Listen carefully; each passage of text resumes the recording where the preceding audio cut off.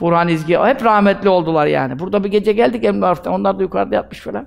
Ya diyor, battaniye üzerime çektim diyor. Hacı dede de diyor, yandakine soruyor. Kıldın mı teheccüd dedim. Kılmış misafirhanede dedi. Kaç rekat kıldın? 12 rekat. 12 rekatta teheccüd mü olur be? Ana, bu da diyor, ne diyecek acaba der. Ben 50 kıldım. Ondan sonra ben diyor kalkacaktım iki rekat kılarım, yoldan gelmişim yatarım. Bu 50'yi duyunca diyorum ben hiç hayat eseri göstermeyeyim dedim diyor, çektim diyor yani. Şimdi neden? Rezil olacağız diyor.